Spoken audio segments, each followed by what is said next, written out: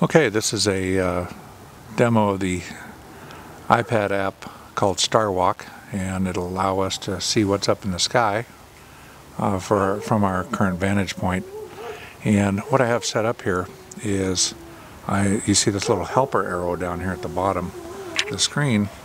We have identified the International Space Station because as we speak it is uh, currently mated with the Space Shuttle Discovery on its uh, final mission and the iPad app here can help us actually track that and on around uh, March 7th we should see um, if, if our sky is clear we'll have the ability to actually see the space station and space shuttle uh, docked together. The cool thing about this app here is that one you can go to night mode. Here and I'll show you how that works. Go to settings and uh, turn on night mode. And I'm not sure if that's going to actually look better. And you'll see it as soon as you touch something it'll try to identify that device or that item object.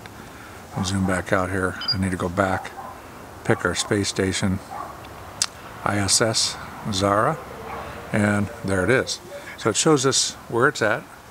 And if we get our bearings here again. It shows us the little helper arrow down there at the bottom. And there it is.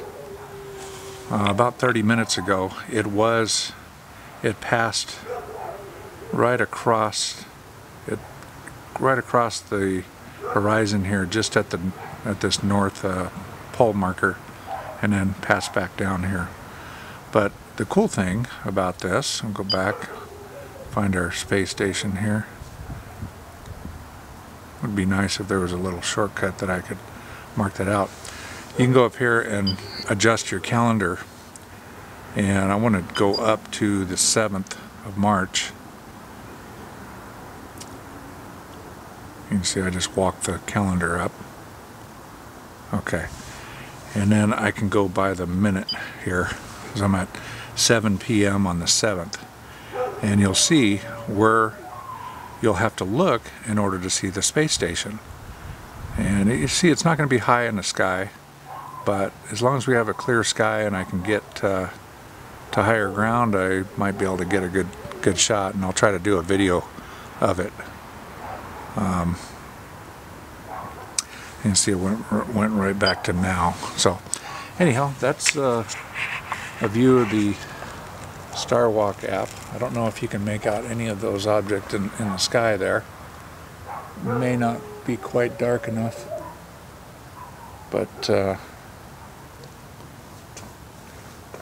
you get the idea.